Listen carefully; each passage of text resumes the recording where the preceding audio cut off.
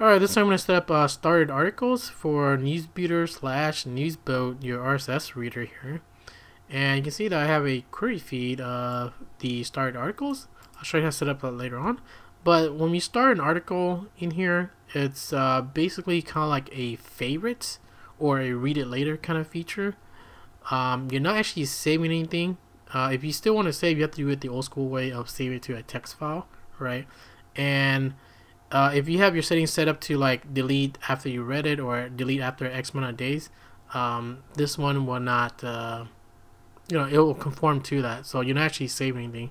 This is only for people that wants to start the thing, uh, but don't mind it being deleted later on. Okay. Anyways, with that being explained, how do you uh, use this and how you set it up? Let's say, for example, I had go into one of my feeds here, and you know, I, I go into uh, look in this article here, I say, oh, okay, I like this one here. I'll hit Control E, and I'll uh, flag it. Uh, this one's called Start Articles, but in uh, Newsboat or Newsbeuter, they call it flags. Okay, so you can see that at the bottom here, uh, we have flags here, right at the bottom, and we're gonna flag with just one letter S, and then you hit Enter, and that's pretty much it. Now you can see that this article has been flagged it with the S letter here, right? Uh, let's do another one let's say for example mega links here. And let's say I want to uh, flag this Chippendale whatever here. I hit control E. I'll put in the letter S and then hit enter. And that's been flagged it. You can tell that it's been flagged it if you have this little exclamation mark next to it the article here right? This little exclamation mark. That's how you know it's been flagged it.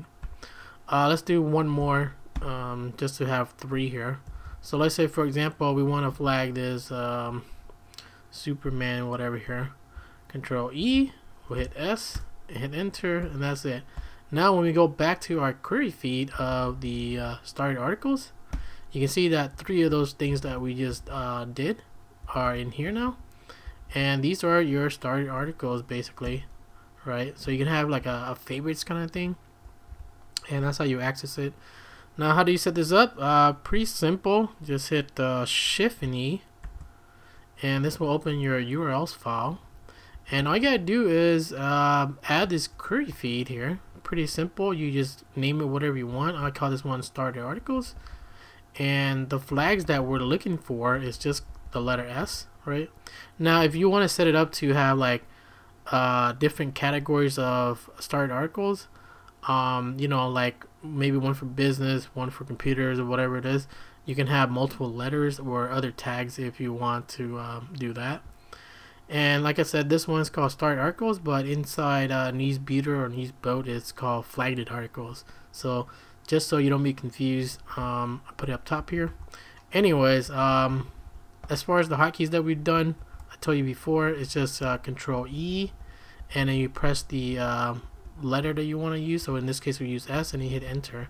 Now to get rid of the started articles, so we have three here. Let's say I want to get rid of this one here. We do the same thing. We hit Control E, and then you see this S at the bottom here. All you do is delete it, and that's it. It gets rid of that exclamation mark. Right? There's no more flags inside it. Let's see here. Right? We don't have a flag here no more, like we have in the other article. Like in this article here, we have flag, right? Right right there.